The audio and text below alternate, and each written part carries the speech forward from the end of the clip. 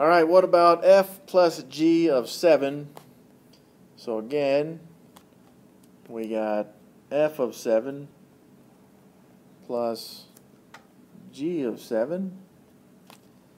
And what is f of 7? f is the red, so I got uh, 7 right there. Plus g of 7, which is negative 4.